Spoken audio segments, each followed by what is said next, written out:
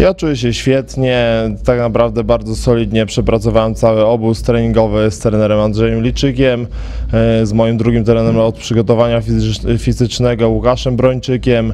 Zmieniliśmy trochę metody treningowe, robiliśmy więcej treningu funkcjonalnego, e, więcej pracowaliśmy na interwałach, tak więc e, moją formę poprzez pryzmat sparingów, jakie toczyłem, oceniam na bardzo wysoką.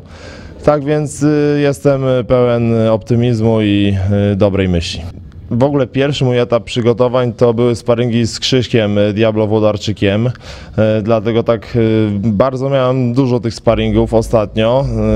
8 tygodni z Krzyśkiem Włodarczykiem, później pomagali mi klubowi koledzy Filip Gawryszewski, Piotr Budziszewski, Tomasz Błasik, Krystian tutaj z Zalewce, tak więc Zmieniali się co dwie, trzy rundy sparring partnerzy, naprawdę mm, wysoką poprzeczkę mi e, zafundowali, tak więc mm, oceniam sparingi na bardzo dobre, trener też jest zadowolony i do przodu.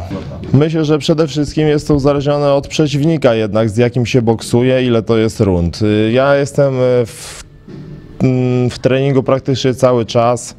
E, Nie mam takich okresów roztrenowań, gdzie po prostu nic nie robię. Nawet jeżeli jadę na wakacje, to staram się pływać, jeździć na rowerze, po prostu zmieniam e, formę aktywności fizycznej. Mm, Więc wracając do Twojego pytania, to jest uzależnione od tego, z kim jest walka i ile rund. A tak, żeby wyjść z marszu do jakiegoś przeciwnika, do takiej walki rankingowej, to potrzebuję 3-4 tygodni maksymalnie na sparingi i tyle. Jestem cały czas wolnym zawodnikiem. Z Marcinem mamy dżentelmeńską umowę. Jesteśmy umówieni na trzy walki w tym roku. Tak więc y, do tej pory wszystko przebiega zgodnie z planem, wszystko zgodnie z założeniami. Mm, I tyle, czekamy na kolejne terminy. Na pewno chciałbym boksować więcej.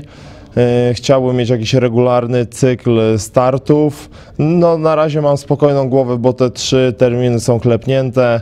Tak więc o tyle dobrze, no ale jeżeli pojawią się jakieś inne opcje, to rozmawialiśmy z Marcinem, że y, jeżeli będę, będę miał możliwość zaboksowania gdzieś, y, gdzie będzie też fajna oferta czy dobry przeciwnik, to jak najbardziej nie będzie mnie blokować ani nic z tych rzeczy. Na dzień dzisiejszy jest w porządku, mam jakieś swoje plany.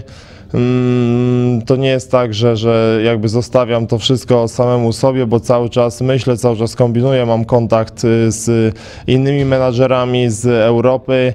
Tak więc y, mam nadzieję, że niedługo będę mógł powiedzieć troszkę więcej i uchylić y, więcej jakby rąbka tajemnicy. Rozmowy są dosyć zaawansowane, więc tak, wyjazd za granicę biorę jak najbardziej pod uwagę.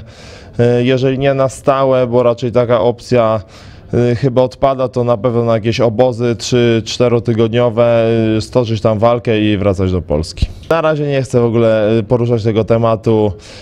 Jak będę miał jakby pewność, już będzie wszystko klepnięte, mogę poinformować wszystkich, czy to w wywiadzie, czy przez social media i, i będzie wszystko wiadomo.